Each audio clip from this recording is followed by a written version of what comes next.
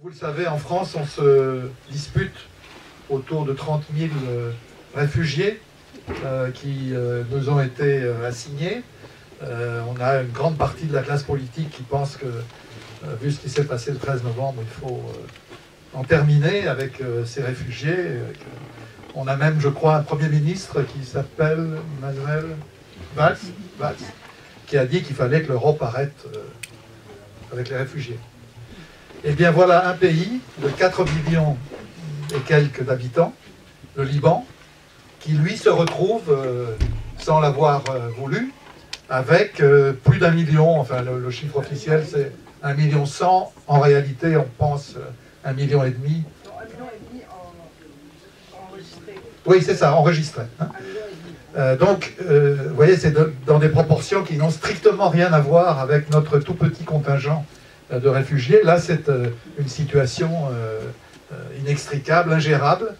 Et au fond, ma première question euh, euh, pour vous deux, c'est comment c'est possible C'est-à-dire, comment on fait euh, à 4 millions et quelques pour euh, gérer un million et demi euh, de réfugiés syriens euh, sachant quand même qu'il n'y a pas que les réfugiés syriens, il y a aussi euh, 300 000 euh, et quelques réfugiés palestiniens euh, dans les camps euh, euh, de réfugiés, qu'il y a d'autres euh, euh, victimes. Bref, on est dans une situation d'urgence extrême. Comment, euh, comment les choses se passent? Là, on a vu comment elles sont ressenties du côté des Syriens, des réfugiés.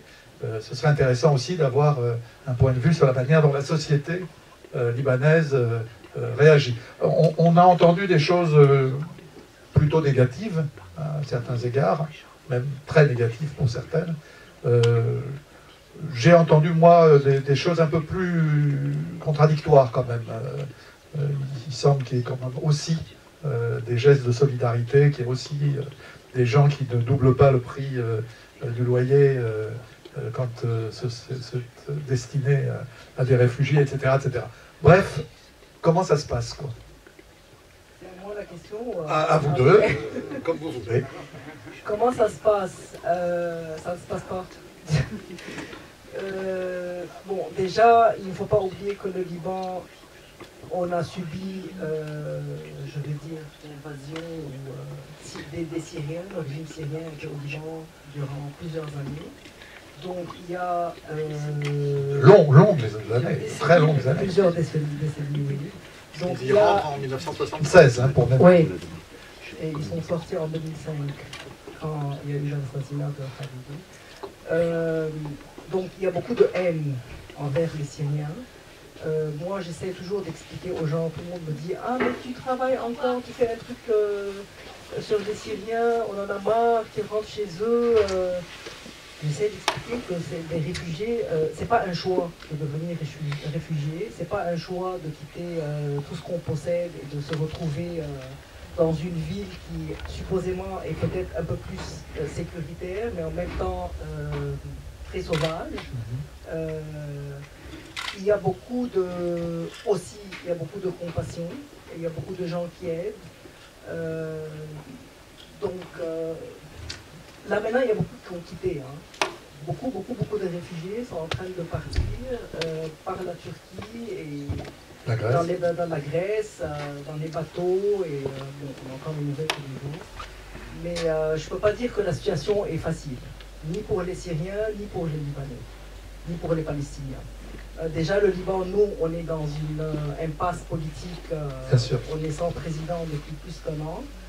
Euh, ça ne fait aucune différence si on en a un en tous les cas. Euh, donc, euh, Le Parlement. le Parlement, euh, oui, on S'autoproclame, euh, s'autoproclame, euh, on a euh, de la poubelle et des ordures, je ne sais pas si vous suivez les nouvelles, mais on est envahi par les mouches, euh, par les mauvaises odeurs, euh, on a de la corruption. euh, là, je, je dessine une, une image très négative du, du Liban, mais... euh, Elisabeth commencerai par une, euh, une petite remarque qui m'a frappée dans le film, c'est que euh, il y en a qui ont parlé, je ne me rappelle plus laquelle, du fait que le terrain euh, où elles étaient installées appartenait à un propriétaire libanais qui leur demandait rien. Donc ça existe. Moi, je ne savais pas.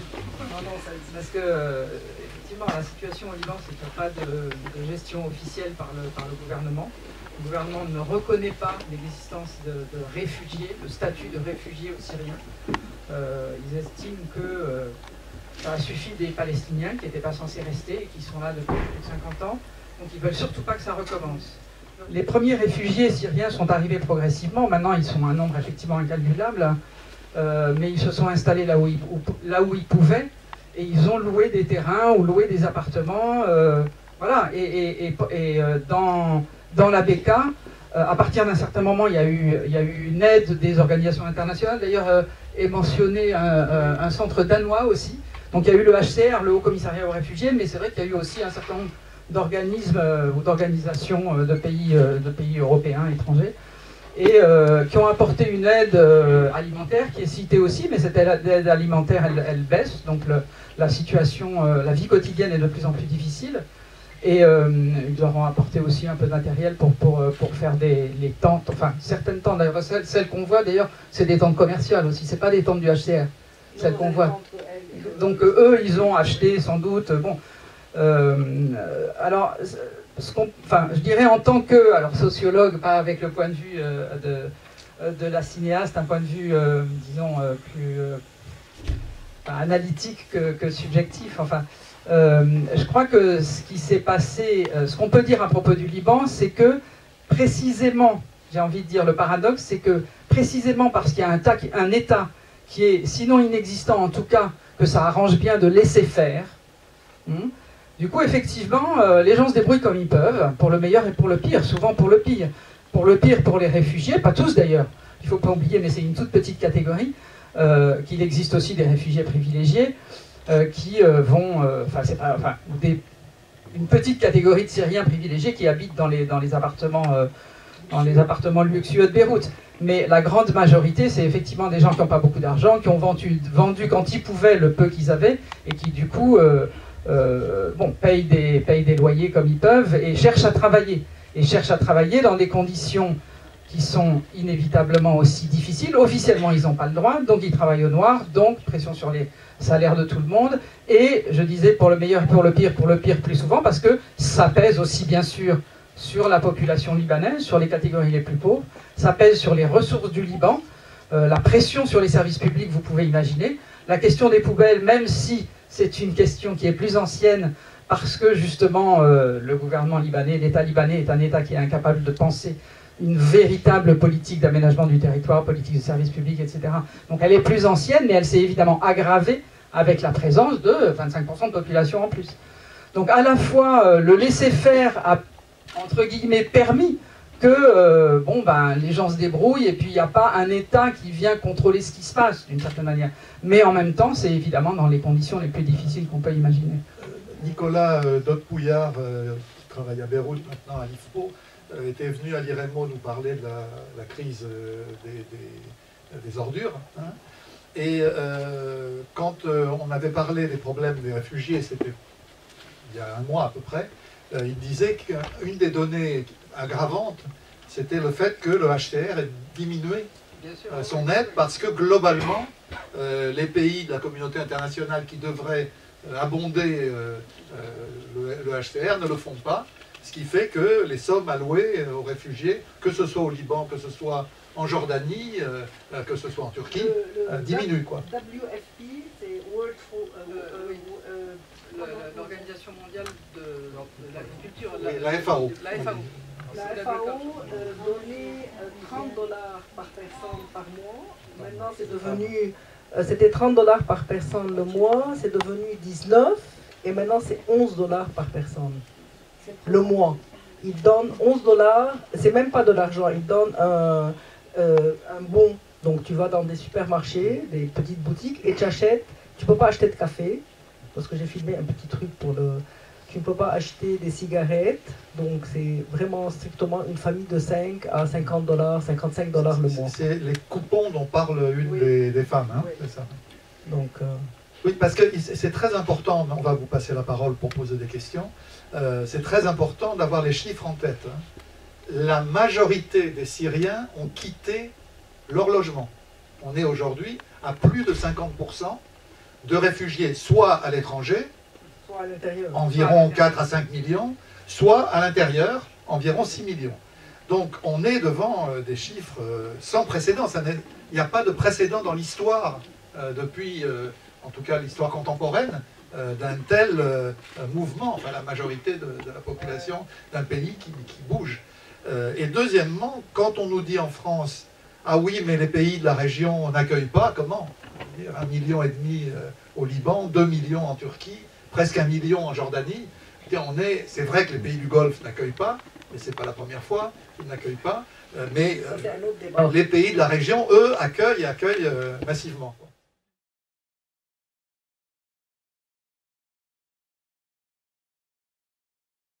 Les autorités libanaises, ça arrange euh, les spéculateurs, ça arrange euh, euh, les gens qui peuvent, justement, euh, les employeurs, y compris à un petit niveau. Enfin bon, il y a, il y a- un peu partout, ce qui s'est passé, c'est qu'on a renvoyé des employés, soit libanais, soit syriens d'ailleurs. Parce que ce qu'on a dit aussi à un moment donné, s'il y avait une compétition à l'intérieur de la population syrienne. Ce qu'il faut savoir, c'est qu'il y avait des ouvriers syriens depuis très longtemps, jusqu'à avant 2011.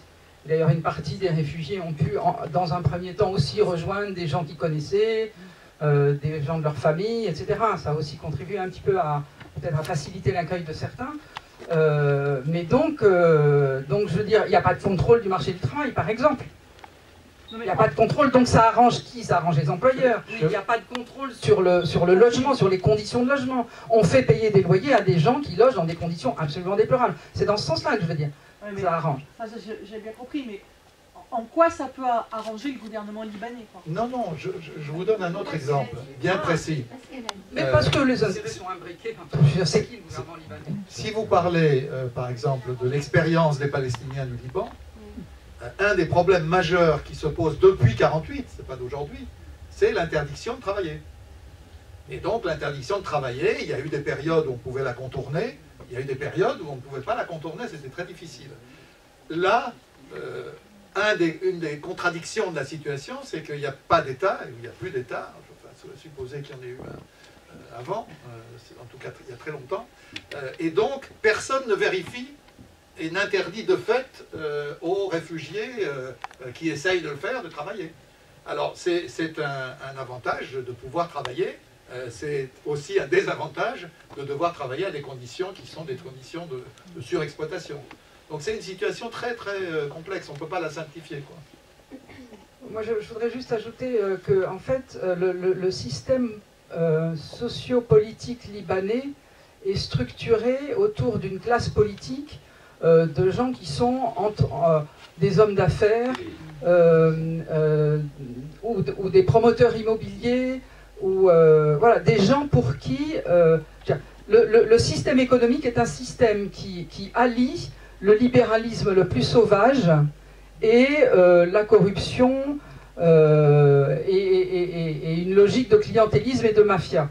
Et, c'est cette structure, du coup, les, hommes politiques sont, comment dire, le politique et l'économique est complètement imbriqué, et Hariri, en un sens, représentait, à une époque, peut-être évidemment, enfin, à une époque différente, représentait euh, de manière exemplaire cette imbrication des intérêts privés et des intérêts publics, puisqu'il a terminé la destruction de Beyrouth, si j'ose dire. Euh, Peut-être Carole pourra commenter là-dessus. Euh, et et- et- c'est à créer cette société qui s'appelle Solidaire pour s'approprier les terrains du centre-ville de Beyrouth et faire des, constructions complètement spéculatives dans une logique de, de ville du Golfe, disons. Euh, euh, do- donc c'est ça, c'est cette imbrication du privé et, du public, donc de l'État. C'est pour ça que c'est pas tout à fait juste de dire qu'il n'y a pas d'État. C'est une certaine forme d'État et qui sert un certain type d'intérêt et avec un certain type de moyens qui allie le libéralisme économique, euh, y compris évidemment à petite échelle. C'est pas les marchés financiers internationaux, mais ça reste du libéralisme sauvage avec euh, un- un- une logique clientéliste. Donc on ne fera pas de projet. En fait, un, bon exemple, c'est les hommes politiques de Tripoli, euh, qui, euh, l'avant-dernier chef de gouvernement, Mikati, est originaire de Tripoli. Il y a plusieurs très grands hommes d'affaires, des, des grands hommes politiques libanais qui sont originaires de Tripoli. On aurait pu imaginer qu'ils travaillent pour la ville de Tripoli. Eh bien non, ils connaissent les Tripolitains au moment des élections et ils vont arroser. Mais ils n'ont pas de, projet pour la ville de Tripoli et la région de Tripoli, qui est la région où il y a le plus grand taux de pauvreté de tout le Liban, par exemple. Ça que je voulais dire.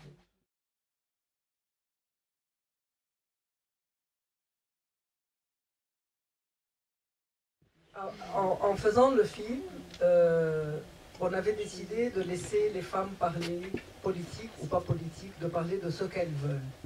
Et aucune d'elles n'a parlé politique.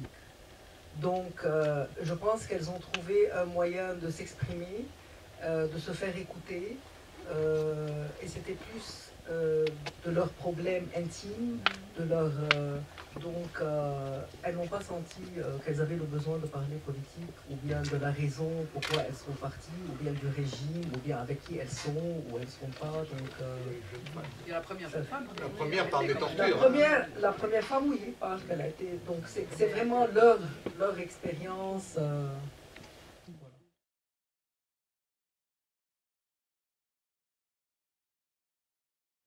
Pas. le Liban n'a pas signé la Convention de Genève sur les réfugiés. La Jordanie non plus d'ailleurs. Et la Turquie, si. Euh, la Turquie. Si, si. Et donc, ils ne reconnaissent pas le statut de réfugié. Tout. Avec, avec, ce que ça implique comme devoir. Enfin, la Convention de Genève implique, euh, enfin, signifie qu'on accorde la protection, etc.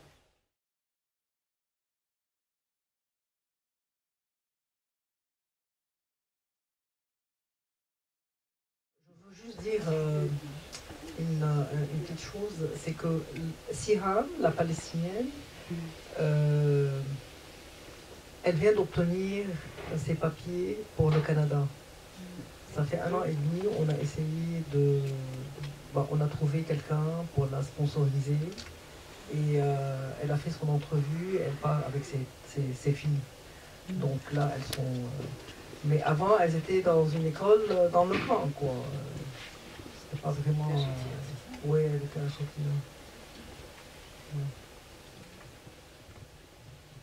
Oui, je voulais juste dire, moi j'étais euh, il y a un mois à peu près euh, euh, dans une soirée en Bretagne consacrée à la Palestine.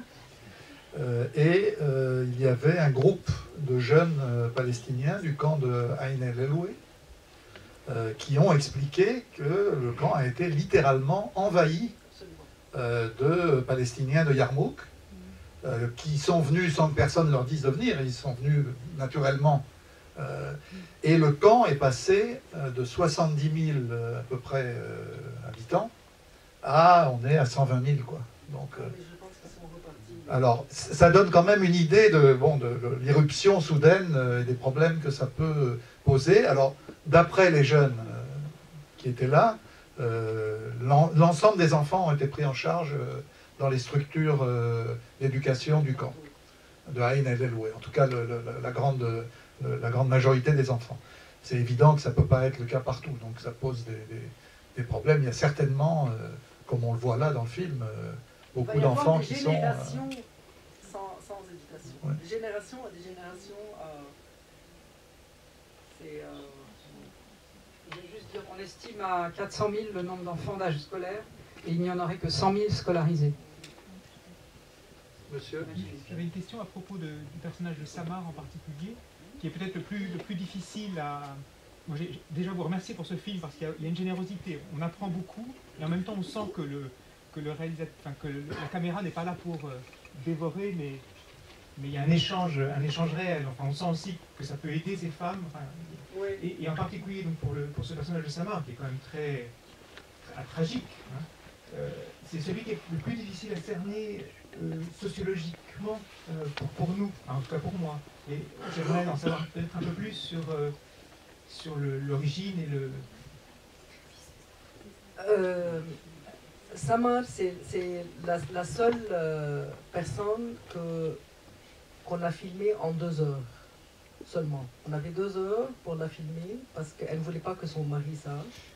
Et c'était à travers quelqu'un qui nous a donné le numéro de quelqu'un, qui elle nous a retrouvés dans ce hangar. Donc vraiment un garage comme ça. On a mis la caméra Et elle a parlé pendant deux heures. Euh, bon, je pense que ça se sent qu'elle est très troublée. Euh, elle a beaucoup pleuré. J'ai pas mis beaucoup de passages de. Euh, c'est pas un choix. Elle n'a pas le choix. Elle est dans une situation où elle ne peut que, je vais pas dire se débarrasser de ses filles, mais trouver une sécurité à ses deux filles. Donc, euh, je sais que beaucoup de gens, j'ai eu beaucoup de commentaires. Ah, elle a vendu ses filles. Euh, non, c'est vraiment pas ça.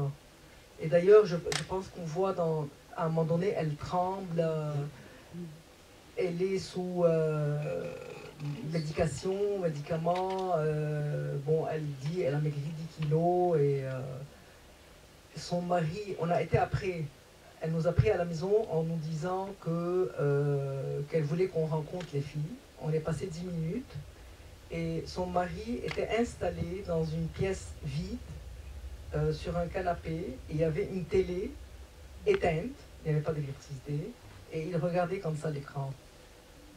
Euh, donc c'est pas une atmosphère très gaie et très. euh, Donc ce que je veux dire c'est que c'est pas un choix. C'était la seule façon de euh, pouvoir continuer à vivre et à faire vivre ses autres enfants. Et l'appartement où elle habite, c'est un des, des fiancés. C'est pour ça qu'elle est dans un appartement et qu'elle n'est pas sous une tente ou. euh, Euh, Il y a quelque chose qui n'a rien à voir avec le, discours qu'on a tenu jusqu'à maintenant, euh, dans la, logique du film. Il y a pour moi une espèce de miracle libanais qui mériterait d'être analysé. C'est-à-dire, il n'y a plus de président, il n'y a pas de parlement, enfin il est prorogé, euh, euh, le gouvernement est, est largement paralysé. Euh, il y a un million et demi de réfugiés libanais et pour le- de Syriens, pardon. Et pour l'instant, euh, le pays tient bon. Je veux dire, y compris politiquement. C'est-à-dire, il n'y a Je ne pas. sais pas s'il tient bon. hein. Non, mais c'est quand même extraordinaire quand on regarde ce qui se passe en Syrie, en Irak, euh, alors que dans le pays, il y a des acteurs de ces crises. Le Hezbollah est, complètement engagé euh, aux côtés du régime de, Bachar. Euh, il y a d'autres forces qui sont plutôt des forces euh, sunnites djihadistes ou, pas loin d'être djihadistes, notamment au nord.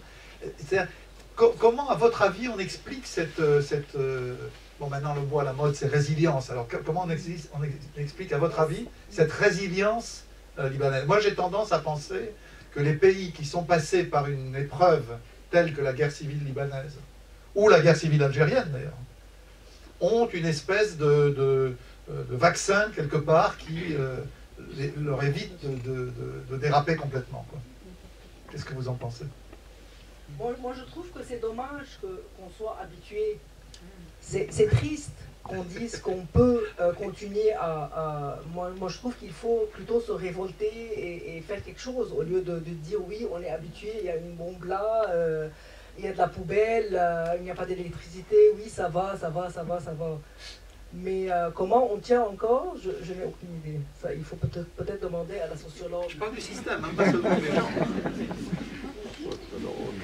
Moi, moi pour, pour, pour revenir un peu en arrière et sur euh, le numéro de, la revue Confluence qu'on avait fait, ce que je, ce qui ce que je trouvais absolument extraordinaire, c'est qu'au Liban, euh, il continue à y avoir des mouvements sociaux. Et d'ailleurs, le mouvement des poubelles euh, en, est, un exemple. Alors que le système politique va complètement à volo, les institutions sont complètement bloquées, et alors qu'il y a un million et demi de réfugiés. Je trouve ça, euh, ça- il y a quelque chose d'assez extraordinaire. Je veux dire, il y a des gens formidables au Liban en plus. C'est vrai qu'il y a des gens formidables. Il y a du racisme, il y a des. Enfin, je veux dire, euh, il y a du racisme. Bon, avec ce qu'ils vivent, j'ai envie de dire, bon, euh, nous, je veux dire, il y a du racisme en France pour bien moins. Hein. Bon. Alors. Bon, il y a effectivement des choses assez extraordinaires qui se passent. C'est une société qui est complètement fracturée sur le plan communautaire. C'est une réalité. La, réalité des animosités des, conflits et, des, la division communautaire, c'est une, réalité très forte. euh, ça se traduit. euh, ça se traduit parfois, je veux dire que le Liban est un pays calme, c'est quand même un petit peu exagéré. Ils ont eu droit récemment à un attentat pas aussi important qu'à Paris, c'est déjà pas mal, et il y en a eu d'autres avant. Euh, il y a ce qui se passe à Ersal, il y a régulièrement à Tripoli, etc. Donc quand même, c'est pas, pas absolument euh, ca- calme tout le temps. Et donc il y a ces deux choses, parce que il y a des, y a des cassures communautaires, mais il y a aussi ce mouvement social qui est complètement supracommunautaire, et ce qui a eu lieu il y a, a pas si longtemps que ça, il y a 2-3 ans, des grandes grèves. Il y a des grèves au Liban, des grandes grèves, mais évidemment qui n'aboutissent pas. En fait, c'est ça ce qui se passe, c'est que du coup, ça n'aboutit pas. Euh, donc il y a à la fois des capacités de résistance, d'une certaine façon, de la société, euh, des mouvements de protestation extraordinaires qu'on ne connaît pas ailleurs, encore que, bon, là, j'ai pas du tout suivi l'Irak, mais il paraît qu'en Irak, il y a aussi des mouvements très intéressants, très importants, tout à fait supracommunautaires. Donc il y a des capacités, je trouve, il y a des capacités de, sursaut et de résistance des sociétés qui me semblent importants à, à mettre en valeur. hein. Euh, alors, euh, euh, comment et pourquoi En fait, euh, c'est un peu aussi ce que je disais tout à l'heure. Moi, je pense que enfin, c'est les avantages et les inconvénients du système, comme, comme l'État laisse faire, c'est un peu, j'emploie cette formule, cause toujours tu m'intéresses, mais au fond, on laisse quand même causer assez largement. Il y a des limites, hein, il y a des limites. Mais il y a un- une, forme de liberté d'expression qui est très précieuse et dont, je pense, les Libanais euh, euh, euh, savent que pour eux, c'est très précieux par rapport à d'autres pays, par rapport à ce qu'ont vécu les pays voisins. Bon, voilà ce que, ce que je peux dire en fait. Il y a, y a l'envers et l'endroit au fond de cette, de cette. Alors c'est une, une société qui est extrêmement inégalitaire, extrêmement injuste, mais où il y a aussi cette forme de, de- liberté. C'est une société qui du coup se prend en charge. Je veux dire, les gens se prennent en charge, il faut bien. Mais d'une certaine manière, c'est vraiment un paradoxe, ce système permet jusqu'à maintenant une vraie coexistence dans la tension, dans la difficulté, dans le blocage des institutions, etc., qui n'existe plus ailleurs. C'est-à-dire, euh, Daesh, enfin, je crois que vous en avez discuté hier soir, euh, Daesh est né de, l'épuration euh, anti-sunnite euh, développée par les Américains et par le, les, les autorités qu'ils ont mises en place euh, à Bagdad. Et c'est ça qui a donné Daesh et qui donne Daesh. Euh, ça a beau être un mouvement à caractère religieux, il est peuplé d'anciens militaires, euh, d'anciens dirigeants du parti basse, qui ne sont pas plus religieux que moi, c'est-à-dire pas beaucoup, euh, c'est le moins qu'on puisse dire. Donc on, on a en Syrie un peu le, le même phénomène beaucoup plus long sur la durée, euh, avec le, fait que ce soit les Alaouites qui tiennent euh, euh, l'ensemble de cet État euh, depuis euh, des décennies. On, fait le tour d'un Moyen-Orient en plein chaos du fait des, épurations, euh, entre guillemets, euh, confessionnelles ou confessionnalo-politiques. Euh, au Liban, il y a un système qui euh, est détestable, mais qui, euh, qui permet aux gens de, de- de- vivre relativement ensemble. Et je crois vraiment que la guerre civile, vous n'avez pas répondu là-dessus, elle a vacciné quand même les gens. C'est-à-dire on sait jusqu'où euh, il ne faut pas aller. Il y a un moment où on s'arrête. Euh, c'est vrai par exemple qu'on a eu un moment, euh, il, y a, un an, la sensation qu'il allait y avoir des affrontements très généralisés entre le Hezbollah et d'autres forces djihadistes venues de Syrie. Il y a eu quelques, quelques affrontements, puis ça s'est arrêté. On a l'impression qu'il y a une espèce de conscience qu'il y a une limite à ne pas franchir. Quoi. On ne veut pas re- re- retourner euh, dans les, les 100 000 ou 200 150 000 morts de, de la période 75-90. quoi. Ils sont prêts à se battre, ils vont, ils vont en Syrie maintenant. Le Hezbollah va en Syrie et, et ce qu'il y a comme. éventuellement un peu à Ersan, quoi. Mais. Euh, Est-ce qu'il y a des, de, de ces réfugiés syriens qui ont pris part et qui ont, qui ont participé à ces, à ces mouvements sociaux et qui ont fait qu'il y a eu aussi un mélange euh, sur le terrain, dans les manifestations, etc., euh, au Liban avec des, réfugiés syriens et que ce, mélange a pu se, créer aussi à ce moment-là Moi, je crois pas, mais. euh, non. Non, je crois pas. Non, parce que c'est effectivement des, mouvements revendicatifs qui s'adressent aux autorités libanaises et qui sont donc l'occasion de mobilisation de Libanais. Ceci dit, ce que je peux juste dire, euh, bon, et Carole euh, euh, peut-être complétera ou, me dira si elle est d'accord, c'est qu'il y a, il y a des. euh, euh, il, y a une, il y a une mobilisation euh, euh, qui associe des Libanais et des Syriens pour essayer d'aider les réfugiés. Et ça, je crois que c'est important de le dire, Il y a des Libanais et des Palestiniens et des Syriens qui travaillent ensemble pour essayer, par exemple, euh, d'aider à la scolarisation ou, euh, d'organiser euh, un certain nombre de choses. Enfin, moi, j'ai surtout des exemples concernant la, scolarisation. Il y a des vieilles associations libanaises comme le Mouvement Social ou comme euh, Amel, pour parler de notre ami qui était là il n'y a pas très longtemps, qui euh, travaillé pendant la guerre civile au Liban et, et travaille aujourd'hui pour les Libanais et pour les Syriens. Du coup, il y a d'ailleurs aussi, moi j'ai rencontré, alors je ne sais pas ce que dans quelle mesure c'est représentatif, mais je soupçonne que ça doit être vrai, je veux dire, significatif. J'ai rencontré aussi des, des- des Syriens qui travaillent pour les réfugiés et qui disent attention, il y a des pauvres Libanais à côté des pauvres réfugiés, on travaille pour tout le monde. Hein, Est-ce que tu es d'accord Ça c'est important, il. Non, non, il y a beaucoup de- de- de- d'organismes, d'associations euh, euh, qui, qui, qui aident. Euh, je sais pas moi, moi par exemple, euh, chaque mois, il y a une- un, orga- un organisme, je, je demande à tout le monde de venir mettre des habits. et des- Donc il y a toujours un mouvement, il y a toujours... Pas, ouais, ouais. Euh, il y a beaucoup... de- C'est qui, qui avait posé la question? Ah, ok. Ok. Donc il y a beaucoup, beaucoup de, de Libanais qui aident, et des Syriens et des Palestiniens. Heureusement, parce que sinon... Moi, j'avais deux questions à poser. Euh, L'une, c'est au commencement du départ, donc de la Genèse, comment se fait le choix de la destination? Parce que certaines viennent en Europe, certaines partent, euh, vous avez dit, en Jordanie, d'autres, euh, vous avez, euh, vous avez filmé, c'était au Liban. Comment se fait le choix de la destination devant l'urgence et, et l'horreur absolue?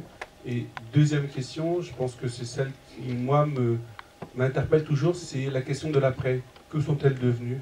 Est-ce que vous avez des nouvelles? Parce que quand on passe une heure et demie avec elles, mine de rien, bah, c'est humain, on s'attache, on a l'impression de les connaître un petit peu. Et on se sentirait un peu moins euh, effrayé ce soir si on avait un- une petite je pile de réponse. Je vais, commencer, je vais commencer par répondre à la deuxième question. Euh, Afra, la, celle qui chante, euh, je, je la, je la vois toujours, elle est à Beyrouth, on est toujours en contact. Euh, Oum Raed et Oum Omar, malheureusement, euh, comme elles étaient dans un terrain euh, perdu, euh, elles ont déménagé et je viens d'avoir un contact, un numéro de téléphone. Et quelqu'un m'a dit qu'une d'elles est rentrée en Syrie. Donc c'est les deux avec qui je n'ai pas de contact. Euh, Samar, qui ne s'appelle pas Samar, là j'ai complètement perdu parce qu'elle m'a demandé de ne plus la rappeler.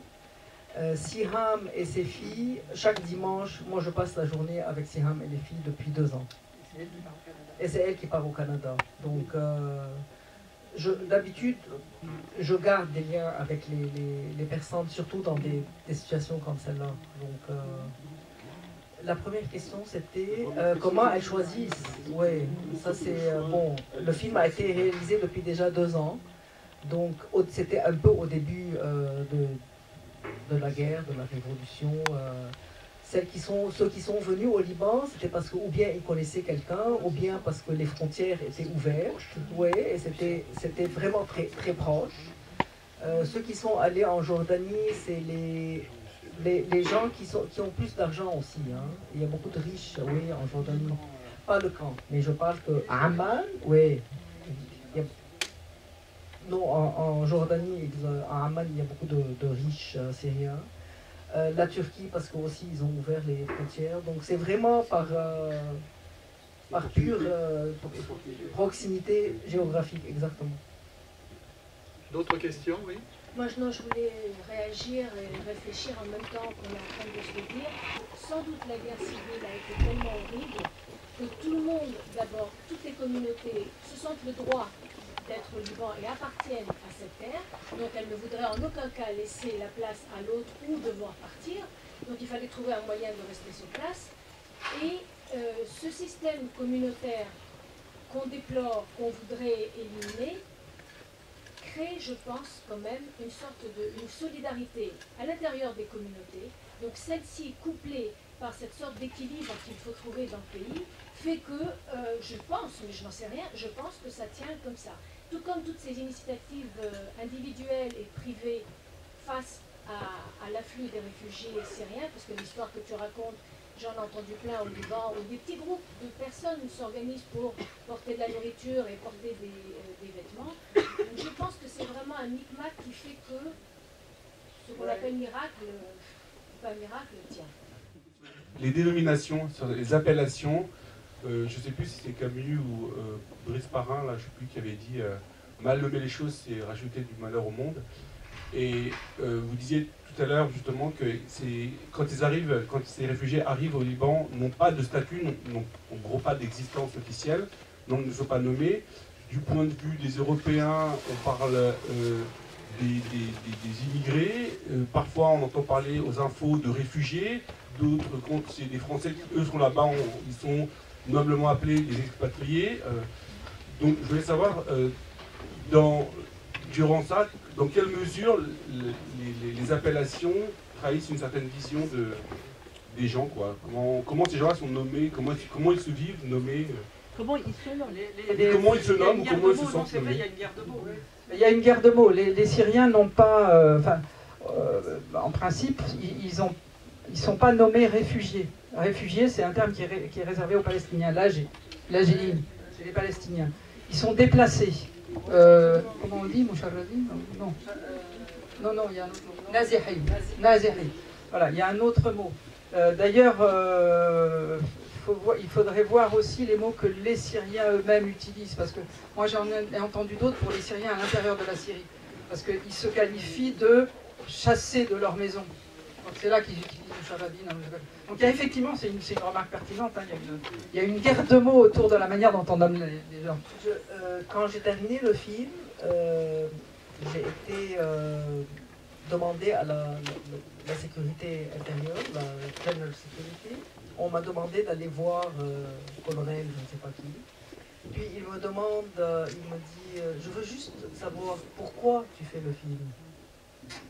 Alors je lui ai dit parce que euh, c'est pour montrer que les réfugiés euh, n'ont pas d'autre choix, c'est pour montrer que les réfugiés sont là, mais ils n'ont pas envie d'être là. Alors il me dit, c'est pas des réfugiés, c'est des déplacés. Il m'a- il m'a corrigé. Je voulais juste rajouter que la bataille de mots, elle est aussi en France. hein. Que c'est pas par hasard que la plupart des médias utilisent le terme migrant, euh, parce que ça permet de mettre tout le monde dans le même sac, les gens qui sont partis euh, chassés par la guerre, et puis ceux qui seraient partis pour euh, avoir un bon boulot et une bonne sécurité sociale, etc. Non, c'est des réfugiés. Et réfugiés, ça veut dire immédiatement une définition de l'ONU, des obligations pour les États. On n'a pas le droit de mettre des réfugiés à la porte, n'en déplaise à Manuel Valls. On n'a pas le droit. C'est un- c'est une violation euh, euh, des conventions internationales. Euh, Donc oui, on a une bataille chez nous. hein. Bon, en France, on, on dit migrant aussi, c'est que le migrant, il va encore migrer. Oui, on est bien d'accord que le réfugié, c'est que pour nous, c'est vraiment un mot qui vient de la Seconde Guerre, qu'à la fin, il reste. Le réfugié, à la fin, il reste. Le migrant, après, il bouge. Oui, oui, mais, mais Non, surtout, le il y a- migrant, on n'a aucune ça- obligation à son égard. hein. Le migrant, il continue parce que immigré, il reste. alors, de- dernière question, on s'arrête là. Je vois Carole qui s'approche. En général, elle, elle nous chasse. Quand elle s'approche comme ça, elle, euh,